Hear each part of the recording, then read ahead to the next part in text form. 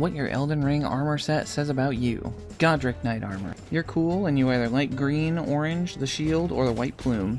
This armor is one of the first sets you can come across in the game, and its style is surprisingly quite good. Practical, easy to farm, and with few Godric Knights actually roaming the game, you'll find this armor set to be quite fashionable. The Banished Knight Armor.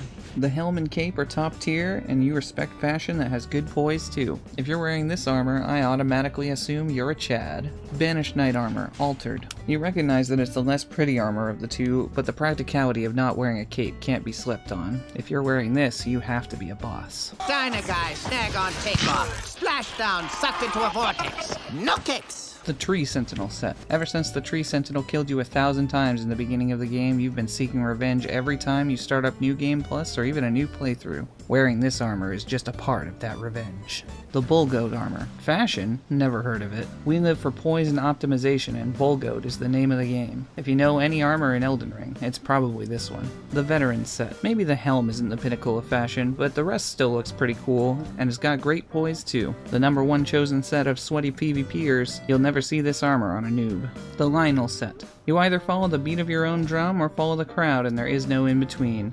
Half fashion, half cool hat, all solid black armor which is surprisingly effective in Elden Ring. Radahn's armor. You're either really good at this game or the actual worst, and whichever you are, you think you're the other one. Alberich's robes. Heck extra intelligence. Pointy hat is the only way to wizard. Sporting stylish red glintstone you can't find anywhere else?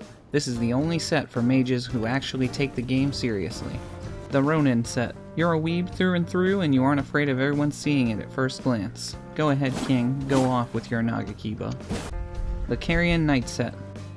As a knight of the Carian Manor, you show respect to Moongrum for the absolute paragod he is, and use Moonveil relentlessly like the stars give out light. The War Surgeon set.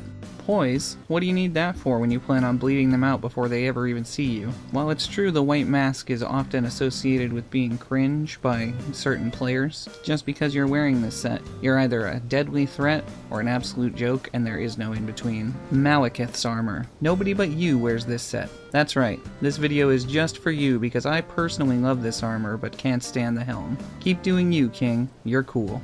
The Cuckoo Knight armor. This helm might be a little goofy, but that red and blue looks too good to pass up. You love cosplays and are one of the only players actually role-playing your way through this game. The Redmane Knight Armor. You don't mind getting your hands dirty to farm out the armor you want and always look cool doing it. You strike fear into the hearts of your enemies as a loyal knight of Radahn. The Gelmir Knight Set. This knight is never seen anywhere throughout the Lands Between, so you might as well take its place as you take your place as Elden Lord or PvP your way to victory. The Leyndell Knight Set. Underrated but stylish and powerful are all words that describe you perfectly. Go get him, King. The Knight's Cavalry Armor. The best black armor in the game with one of the best weapons in the game to go along with it. It has the plume, it has the cape, and it has the charisma no other black armor even comes close to. The Haligtree Knight Set.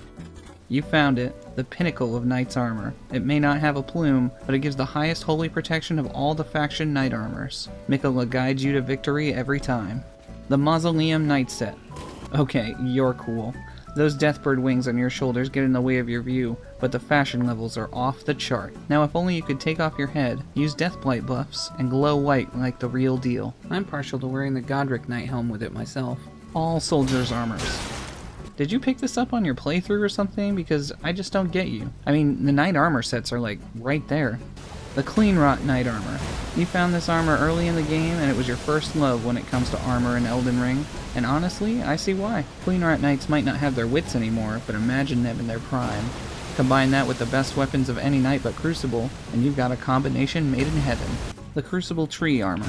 You like the Crucible Knight armor, but you either want to use the Siluria's tree or you respect that the Crucible axe set needs a tree to chop. It's easy to get and has good poise to boot. If you've chosen this armor, you've made a good choice. Crucible Knight Armor. You've got to respect the classics. The Black Knight armor in Dark Souls 3, the Giant Dad armor in Dark Souls 1, and the Crucible Knight armor are all in utility and fashion classes of their own. Leave a suggestion of what armor set you want to see next in the comments.